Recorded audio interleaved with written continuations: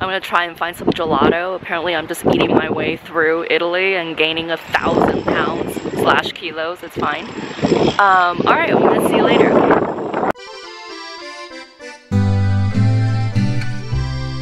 Situated on the coast of the Italian Riviera, Cinque Terre is one of the most beloved destinations in the world. Made up of five fishermen villages, Monterosso al Mare is the largest and the most commercial village.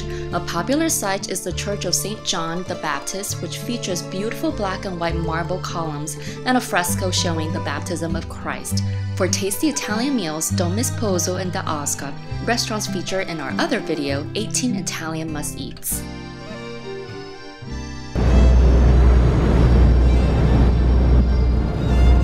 Okay, so I just got off the boat. It's the most popular form of transportation here to get around the five villages. We just left Monterosso. Well, we're actually just stepped into Vernazza. Taking the ferry heading south along the coast from Monterosso is Vernazza. Since 1997, Cinque Terre has been recognized as a World Heritage Site by UNESCO, and many travelers consider Vernazza as their favorite, especially with the breathtaking view entering the village by water. Don't miss Church of Santa Margherita d'Antiochia, which features a unique octagonal bell tower rising from the top of the church. Make sure to climb all the way to the top of the hill and treat yourself with an amazing cannoli at the Pirate Cafe and munch on a slice of focaccia bread.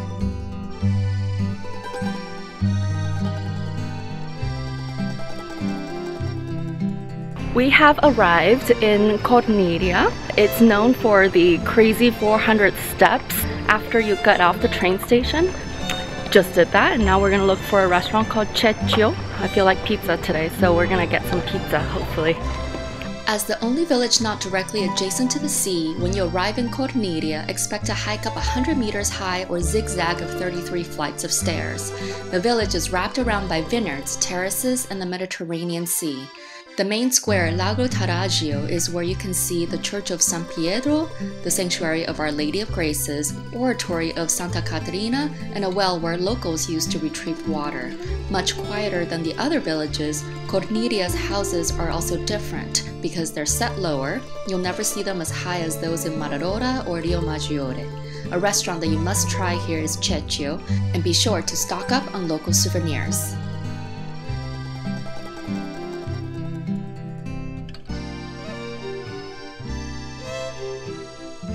So we are now at Manarola, which is another village.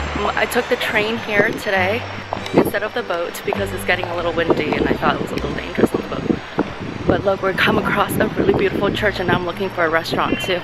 Of the five villages, Manarola is the oldest and the second smallest. The famously bright and colorful houses is what makes Manarola one of the most photographed villages in the world.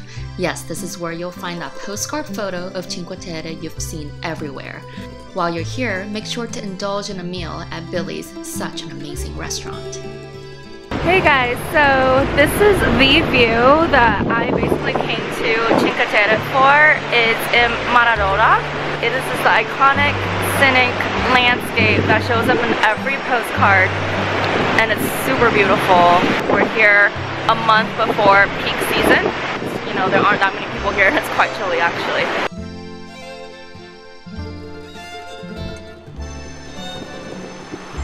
As the most southern village of the five, Rio Maggiore is also the first Cinque Terre village that travelers see when they come from La Spezia.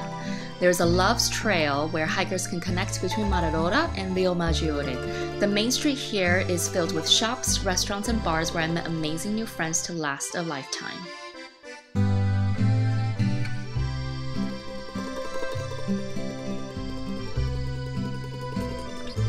So this is Pietro. Yeah. Yes, and Peter, he's the chef of this amazing restaurant, Billy. I'm literally in a cave in the middle of a hill in Manaro. I can't say it right. Manarola. Manarola. Manarola. And um, I was recommended here by a friend who said that Billy is an amazing restaurant. I have to come and try. It. So today I got the Cuttlefish ink pasta